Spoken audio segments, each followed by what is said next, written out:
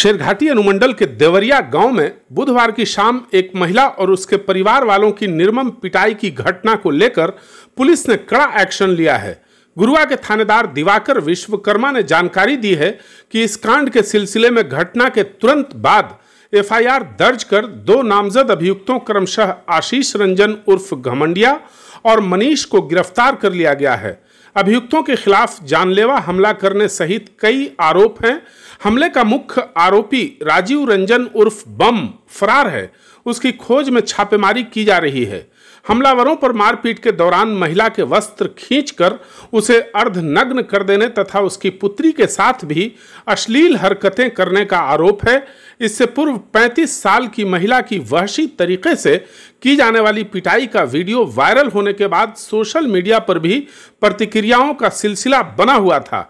इस बीच प्रतिमा कुमारी नामक पीड़ित महिला को गुरुआ के प्राथमिक स्वास्थ्य केंद्र से गंभीर स्थिति में गया के मगध मेडिकल कॉलेज अस्पताल रेफर किया गया है। अस्पताल के चिकित्सकों ने बताया है कि महिला की स्थिति नाजुक बनी हुई है। शरीर में कई स्थानों पर चोट के साथ उसके सिर में भी गंभीर जख्म लगा है। महिला का सीटी स्कैन और एक्सरे किया गया है। रिपोर्ट की प्रतीक्षा की जा रही है। रीढ़ की हड्डी में भी चोट है। सोने से खींच के दुआरे पर बैठे से खींच के आके और घुमाने लगले लठे ठे ऐसे हम कहीं के ऐसे बुलावे थे। हाथी करे लग कुछ कहे ला समझावे ला कौन मारा? मनीष राव और मनीष और जितेंद्र और रंजन। क्या नाम है आपका?